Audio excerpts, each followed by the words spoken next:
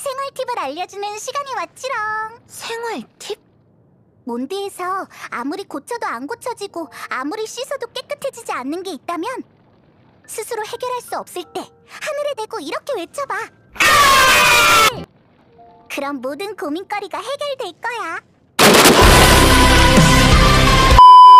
넌 고양이가 좋아, 강아지가 좋아? 난 페이몬이 좋아. 으악, 그건 반칙이잖아. 에? 아니지. 페이몬은 애완동물이 아니거든. 내 눈을 바라봐. 뭐야? 응? 비상식량이 상했나?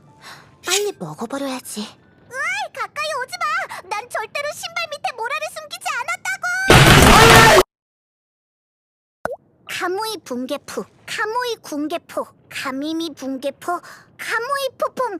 퇴퇴퇴. 아이, 이름이 너무 어려워. 뭐 하는 거야? 이거 말이야. 막부군이 타타라스나를 지키기 위해서 여기에 설치한 초강력 병기.